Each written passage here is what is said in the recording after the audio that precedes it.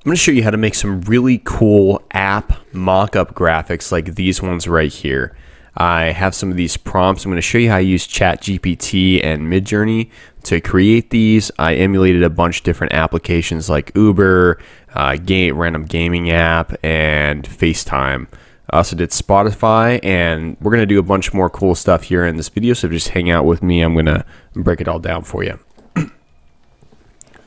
So what we're going to do is we're going to go to Midjourney. If you need a video on how to install Midjourney on your Discord server, go ahead and check out the video that I have. I'll go ahead and drop a link to it. And what we'll do is we're going to go in here. I'm going to start with the help of ChatGPT crafting some prompts like the ones that I have here, where I'm going to say, hey, I want to go ahead and um, get after um, designing a an app that looks like, you know, uh, Spotify or something like that. So here's some of the ones I've been working with. They're in my feed. I'm gonna, I'm gonna show you how I started from scratch though. So this will just be a, uh, a quick little quick little walkthrough here. So the prompt that I started with uh, originally, I got from a place called AI Tuts. They definitely have a lot of really good stuff. So um, what I did was I said, hey, can you do photography of an iPhone with a modern user interface of vector illustration of plants, plant identification app on the screen, inspired by Behance and Figma and Dribbble. And so these are these styles. And then what I did was I said, I asked ChatGPT to make the prompt better. And then what it did was it provided an enhanced prompt, which it came out with this, and I ran that through. And then I said, hey, can you, you know, have it uh, holding human hands, and then I just tried the prompts out. So basically what I'm going to show you here, I'm going to start out again with this, and I'm going to take this, I'll say, uh, can you make this prompt better? And then I'm going to say, can you take this prompt and make it about, um, let's see, I'm thinking of an app right now. I'm actually going to say, make it about uh, an app like Gmail. To see if we can do Gmail because that's a really popular app. it says, okay. Yep, here you go. And it's giving me the prompt. Okay, we're going to take that. And then I'm going to pass this in. I'm going to say slash imagine. Um, and then I'm going to put that in there. We're just going to wait because sometimes these do take a little bit to, to run. So we're going to wait on that. And in the meantime, what I'm going to do is I'm actually just going to grab my phone right now. I'm just going to figure out some more apps to lean into. So one of the ones um, that we could do right here, let's see, so Gmail, Spotify, um, Yelp, um, let's see, Yelp or YouTube. And what I'm going to do is I'm going to start with, I'm going to say, can you, let's see this. Okay, so let's pull this up. So right now, this does not look like Gmail at all. And then I think it got caught up with um, the references to Behance, Figma, and Dribbble. So I'm going to say is um, that prompt didn't show an app that looks like Gmail at all. Can you refine the prompt and give me uh, refined prompts with more detail that ensure that Gmail is what the app mockup looks like. And so we'll see what the deal is. It's going to give me five prompts, and then it's going to try to fix whatever the deal was. So we actually have ChatGPT interfacing with Midjourney to try to get after that. So let's see. And then what I'm going to do in, in, one of these, I'm going to try to not include um, the Behance, Figma, and Dribbble. We're going to see if that works. But I'm also going to, and I, I encourage this, is like to experiment with the different styles of prompting to see which ones actually include or um, don't include pieces of it. So like if if it comes out perfect with references to Figma and Dribbble, or if it doesn't, um, that's kind of an interesting thing. let's see. So I'm just sort of prompting these. I kind of want to see how they work out, um, what they sort of show. And then from there, I think we can move on here. So let's see. Um, this one did not include um, Figma and Dribbble, and it still didn't come out with something that looked like a Gmail application. So we're just getting stuff that looks like a generic iPhone.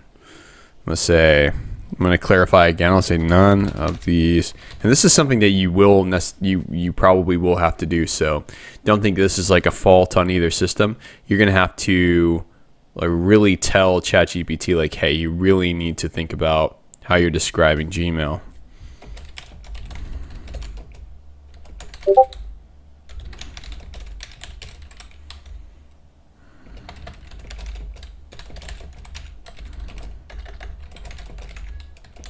Um, so I'm to say, hey, can you be more detailed and give me a prompt that for sure will show a Gmail style app.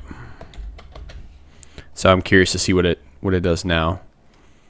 And what I could do is, um, let's see. Oh, you know what? It's this photography concept.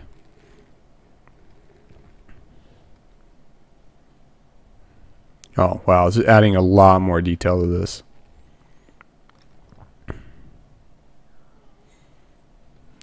So I'm curious to see how this works.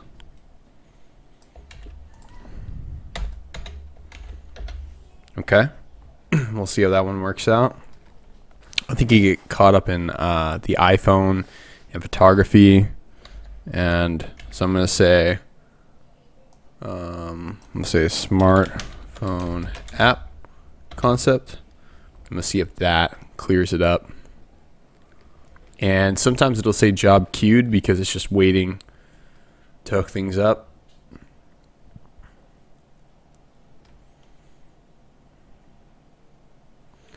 I'm also going to try this. I'm just going to say, I'm going to build my own prompt. I'm going to say an application on a interface on a phone.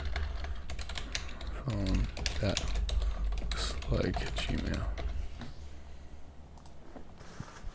All right, yeah, that gave me iPhone 3 type buttons and definitely did not provide what I was wanting. So this is just showing you how you can work through and get to the bottom of that.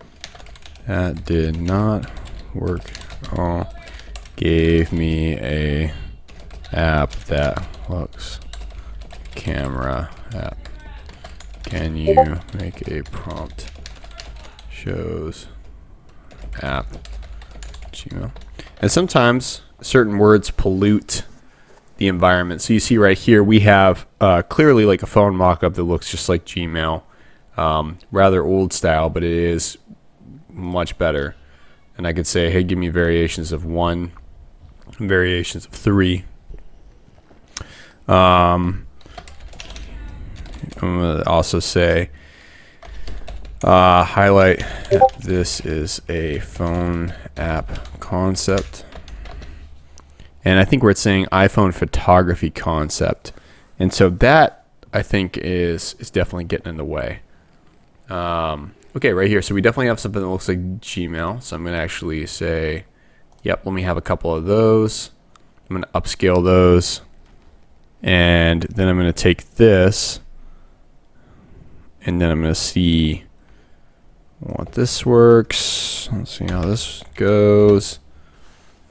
And then I think the Figma Behance Dribbble thing, where I think we're going to see with this prompt how that works out. And sometimes more simple is better. And you can you can really see where that goes. Oh, here we go. Um, cool. Yeah, so that one seemed to work pretty good. Although I don't know what's up with this phone. This is some sort of Android, which is fine. No offense to anybody who has an Android. But um, it would be cool if it was an iPhone. These aren't iPhones, they're just, just dark. Alright, let's see right here. Um, yeah, the iPhone photography thing, I think that really polluted I think those specific words, I think you sometimes you have to look at the actual output of Midjourney to understand what words polluted it. So I'm seeing a lot of emphasis on photography, and because it was one of the first couple of words that I provided in the prompts, I think that's what did it in. So, okay, cool. Well, here in a few minutes, we should see this stuff pop up because we've done so many prompts at this point that a lot of things are going to start coming through, and that's going to start. Um, that's going to start clogging it up, right? So everything's going to get all queued in there. All right, so now that we've gotten rid of the word photography, every prompt sense has done pretty well. Although the words that come out are not, um, they don't actually spell out anything super good. That's okay. Um, here's some of what I've gotten so far. All right, cool. So what I could do right now is I could say, um, I gave my feedback to ChatGPT, and I could say, hey, um, okay, now I would like to, to do this for an app like Yelp.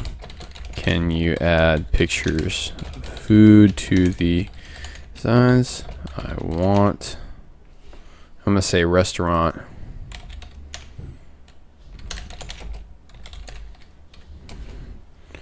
Um, I'm gonna say I want lots of detail in these prompts as well. Maybe start off with like five prompts. Okay, so we're gonna get five prompts for a Yelp style app. And we're gonna see what it gives us. And I like I like to pay attention to the wording here sometimes. Design a captivating phone app concept featuring a user interface that closely resembles Yelp's distinct layout and style, complete with high quality images of appetizing restaurant dishes. The design should display key Yelp elements such as the search bar, filter, ratings, and reviews. I think that it's really interesting that it says, and there's a lot of experimentation you could do here where you say, um, the design should display key Yelp elements such as, and then fill in these specific items with what features you want to actually display inside of the app. So um, every time you prompt in Midjourney, it's kind of a, a crapshoot a little bit. There's not a entirely um, clear-cut way to get the exact thing over and over, but you can try to make the prompt so specific that it does and it's so similar that you you modify just one piece of it, and um, you know it ultimately works. So I'm going to test bringing the the Behance and Dribbble thing in and out.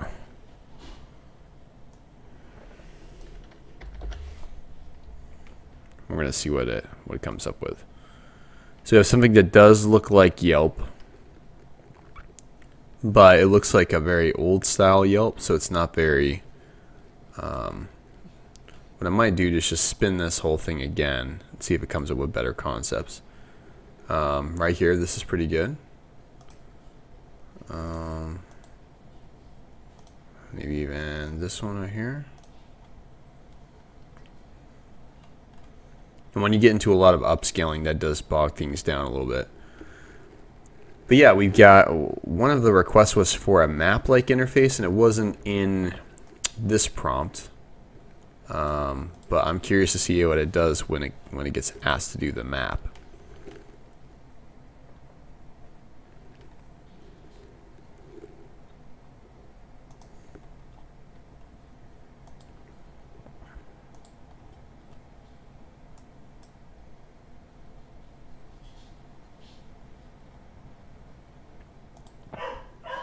Okay, these are really cool, and I like the uh, um, this this brought in the Behance part of the prompt.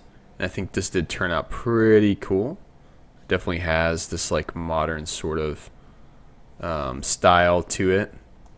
So I actually I think this one down here, I'll take that one And let's see here. So yeah, this uh, you see I didn't include Behance and Dribbble, and it did not did not add that. So I'm actually going to do some of these other ones, and then I'm going to see what that provides.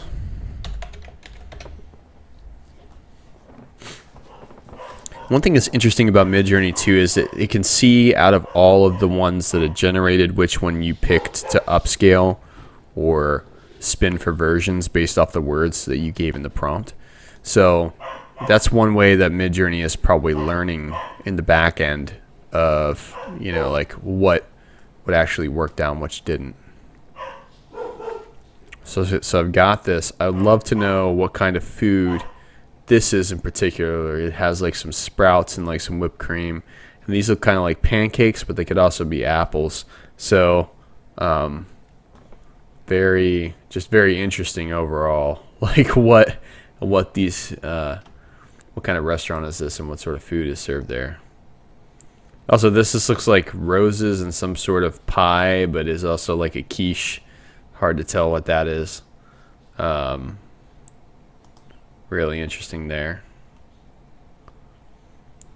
Yeah, overall, I think that you get kind of the point uh, by at this this level how you can kind of move from app to app and what sort of prompt you could start with and um, how that could sort of evolve as you as you start to say, hey, I want an app like this, or I want an app like this, or I want an app that has you know these types of features, or I want an app that has these types of features that could be there's just a lot of different places that you could you could go with it that I think are really cool. So I hope this was helpful and if you hung out with me this whole time, thanks for watching and I'll see you in the next one.